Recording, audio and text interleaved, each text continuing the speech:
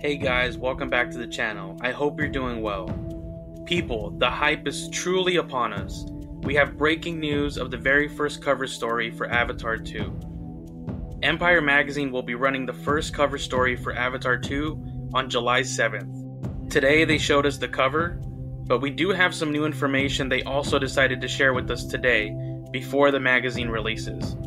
So in this video, let's dive right into that, and if you don't mind, I'll read along with the article sharing the news.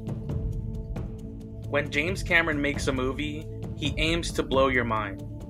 Just look at The Terminator, or Terminator 2, or Aliens, or Titanic. Mind blowing is his default mode, so when Cameron unleashed Avatar on a largely unsuspecting public in 2009, it's no surprise that it became the biggest movie of all time transporting slack jawed audiences to the bioluminescent paradise of Pandora in a sci fi B movie blockbuster of epic proportion. Now he's getting ready to do it again, not once, but four times over, with a quartet of supersized sequels that take Jake, Neytiri, and their Na'vi family out into the wider world and off to pastures new.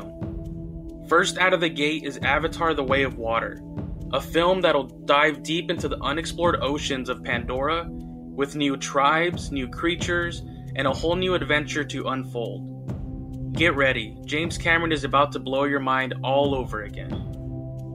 The new issue of Empire takes a major world exclusive look at Avatar The Way of Water and its follow up films, heading to Cameron's Lightstorm HQ to get the inside story on an epic aquatic new saga.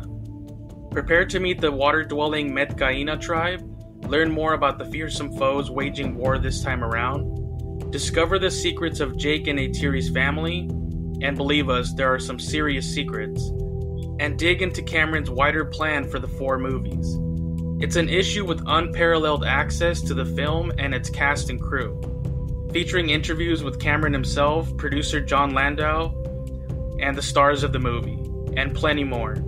Plus, it's stacked with never before seen images that offer you the best look yet at what's in store. This is your ticket to a whole new age of Pandora. And if all that wasn't exciting enough, they gave us a new look and new information about Kate Winslet's character, Ronal. Yes, that's right, they revealed the name is pronounced Ronal. So let's get into the image and new information.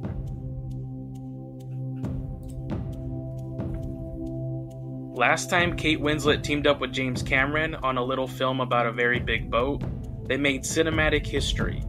Now they're about to change the game all over again, with an appropriately aquatic comeback. Winslet is working with the director once more on a long awaited sequel, Avatar The Way of Water. Their reunion is, in so many ways, Titanic news. But for all the similarities to their last collaboration, Winslet is playing a very different character here than the love struck Rose. As seen on the cover of our world exclusive new Avatar The Way of Water issue, we can exclusively reveal that Winslet's character is Na'vi warrior Ronal, along with Cliff Curtis's Tonowari. Ronal leads the Metkayina tribe who dwell in the shallows of Pandora's vast oceans and will play a major part in the upcoming adventure. She is deeply loyal and a fearless leader, Winslet tells Empire of her big blue alien teasing a female action hero in a similar mold to Sarah Connor, Ripley, and Avatar's own Neytiri. She is strong, a warrior, even in the face of grave danger. And with an unborn baby on board, she still joins her people and fights for what she holds most dear her family and their home. When Sam Worthington's Jake and Zoe Saldana's Neytiri are displaced from their home and flee to the Metkayina's waterworld, expect friction. The drama and conflict that tends to follow the Sully clan around means they won't necessarily be welcomed with open arms. For Winslet, working again with Cameron was a significant event, though their dynamic has shifted somewhat in the years since they made Titanic and smashed box office records the world over. Winslet was at one with the water this time around, throwing herself into the deep end for the underwater shooting with her now legendary freediving proficiency how long did she stay under with a single breath? 7 minutes and 14 seconds, baby. She says, adding that the most amazing thing for me as a middle aged woman was to learn something not just new, but superhuman. Get ready to return to the heart of the ocean. So there you have it, guys. We won't get the full cover story until July 7th, but this was already a lot of great new information. For me, now I know how to properly pronounce her name, but most importantly, she is a co leader of the Metkayina tribe along with Tonowari. And this new image of them is amazing.